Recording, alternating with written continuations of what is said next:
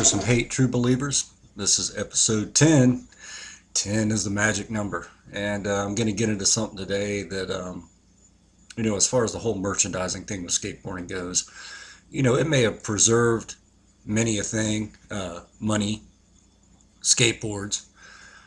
And, uh, you know, in the end, you know, it just seemed, it just weighted your skateboard down, like it made it really heavy and it, it just it didn't it didn't I think it it just destroyed like the true nature of what skateboarding is like grinding and wrecking your board and tearing the graphics off and doing all this kind of thing so this hate letter is going to go out to um, unnecessary plastic shit on your skateboard. And this is something that you don't really see. Now you will see you know people you know my generation that that uh, that do still have rails on their boards. Because they want to be able to you know do your, fakey rail slide you know lockups and come in or you know fakey rock and rolls and come down. And I mean that's fine. But what I'm talking about is larding your board down with every known plastic accessory known to man. And this again falls back in the 80s now. My first skateboard well I had a caster uh, with ACS, what the hell was the number on those things? ACS 500, two something. Otherwise, it was crackerjack trucks. They sucked. And Kryptonics wheels, and the board was like seven inches by like a foot and a half. And I learned on that. But my first real skateboard I got in the Christmas of 1984, it was a Rob Roskopp Santa Cruz. And it had, let's see, what did it have on it? I think it had tracker trucks like black painted black. Uh, you know, and I made sure that I went out and got rails and I got a nose bone and I got one of those 360 skid plate pieces of junk that, you know, go on the back. I wanted to protect the board, you know, I didn't know how long, you know, it was going to last. And I damn sure didn't want to wreck the graphics with a fist, you know, coming through the target. So, you know, I just did that. And a lot of people did. I mean, there were a lot of people, you know, and the first place that I rode it was Swenson Park in Moorhead City, and there were a lot of people that had a lot of plastic junk on their boards. Man, it was crazy. There was one guy there that had remember the the bird, you know, the lapper, you know, so you can't. It just it just cheats. If you can't do a hang up, and I mean Mike Smith used to like, you know, you would see him like, you know, land and have to come in. You know, I don't know if that's lame or not. Like grabbing because McGill did it too. You know, grabbing the tail to come in. But if you can't do a disaster and unweight your back foot and come in smooth, it just looks queer to me. I don't, you know, it's not something that I didn't learn to do it that way. But, but you know, problem solved. Like if you had the bird, because you could just you could do, and I mean, if you look at like the old uh, Steve Caballero video at Winchester and um, in the old uh, Skateboard Madness film, you know, when he's doing, you know, he's hitting that wall after coming uh, through the washboard, you know, he's got a lapper on there, you know, and he slides and then just doesn't even have to worry about, you know, busting his neck, wrecking his neck even worse than it was, smashing his teeth out. I mean, even worse.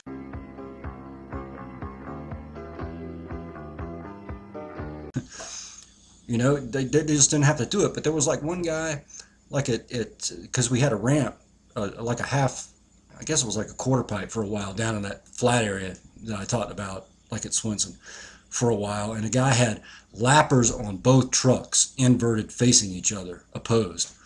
So now, not only he gets to cheat on fakey hangups, he gets to cheat on fakey rock and rolls. So he just does this with ease.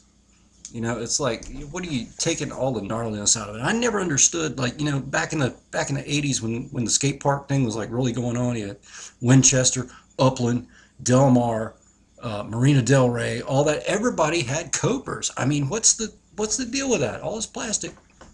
You know, even Duane, Duane Peters, that that's that's that's unbelievable that he would even you know go I well I think I need to put these these the stuff like on my board because you, you you know if you can't it's a helping hand to a grind is what it is. And if, if, if the if the park owners go you know what? You got to have copers. We don't want to have to replace our coping like every five months like the turf did the turf skate park uh, in the Midwest then that's what you ended up doing. But I mean God it was just you know and then like the copers you get there was those ones that were just plastic blocks and you snap. I think it fit any truck. I, I prefer to ride an Indy 169.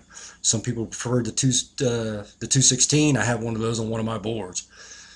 But the worst in the world was the tracker Cobra because you had to you had to take you had to take I don't know what you had to do. You had to do all this man, all this shit, you know, and you're you're it's got these little things that go into the back of the of the where the bearings are like on the opposing wheels and you had to put that I don't know if it was aluminum or whatever, but you had to put it in there. And I mean, at, at some point, I just went, you know, even Tony Hawk, all this went to Del Mar, they were all using Cobras. I mean, could they not grind? Surely could not grind. Sure they could, but it just all the like punk rock gnarliness and, and the and the true joy of the you know the sound was was just gone. And I mean, I remember reading a um, an article Micke Alba wrote in a in a Thrasher issue that came out. It was like a back issue that I got, and uh, it was from 1982. And he was talking about Upland. He's like, man, I'm tired of these kids coming out here like these people with their copas, and I'm quoting him, their copers, their lappers, and all this plastic shit on their boards.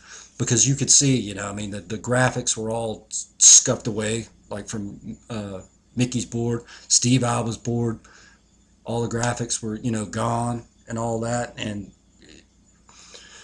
you know, I don't understand like that that why there was like that that transitional period and then a resurgence of you know we're not going to put any more plastic on our boards. You know we're not going to nose bones gorilla bones rib bones tail bones. I mean you've got enough bones to build a skeleton for christ's sake you know what i mean? It, it just i mean it was marketing thing and, I, and i'm it, you know it ultimately like you know I would think companies would want to sell more skateboards, so don't put out a bunch of product that protects the skateboard. You know, because after a while, people were focusing boards, snapping them, and that's another hate letter. You know, let's just step on a perfectly good skateboard because we're pissed off and crush it, and then we get stuff product through the mail, so we're just going to put it all back together. You know, there ain't enough plastic that would protect all that stuff, and um, I don't know. I'm just glad to see all that gone. Like I like to see the big boards coming back, like the, especially like uh, some of those pocket pistol skates that are coming out. You know, they're like 11 inches. You know, seeing people ride those things, but ride it, ride it with no rails, ride it pure, ride it from the heart, ride it with no copers, grind that coping, and it better be pool coping, not steel.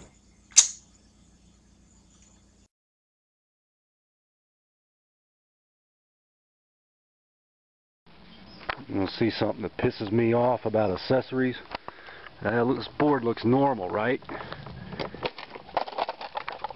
Now, who in the world did that?